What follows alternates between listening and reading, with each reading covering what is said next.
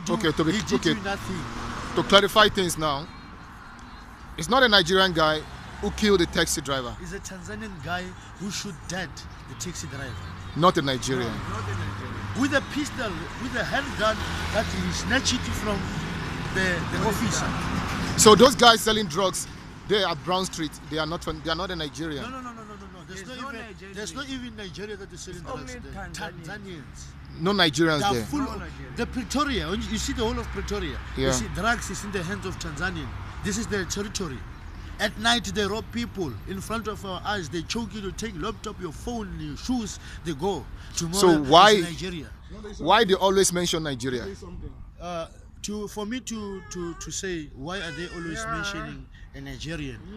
It is it is a it is what you call a, a, a frame or a, a rotten one rotten potato s- spoil the whole bag. Oh, You understand? Hmm, hmm. It, it, it is something which they have been said long before. long before now, it continues. Then it's a little continua. Even if my brother is innocent from Nigeria, like now, you guys you are not involved in this shit.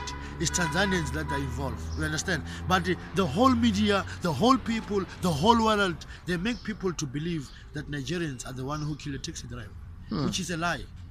Taxi As driver know. is shooting by what? By, uh, By a uh, Tanzanian. a Tanzanian. His name You were there too, right? Is I a was there. Ratonga. It's not a Nigerian saw. I saw with my eyes. I don't hear they say. I saw with my eyes. It's not a Nigerian. It's not a Nigerian. It's a Tanzanian. Ratonga. Ratonga.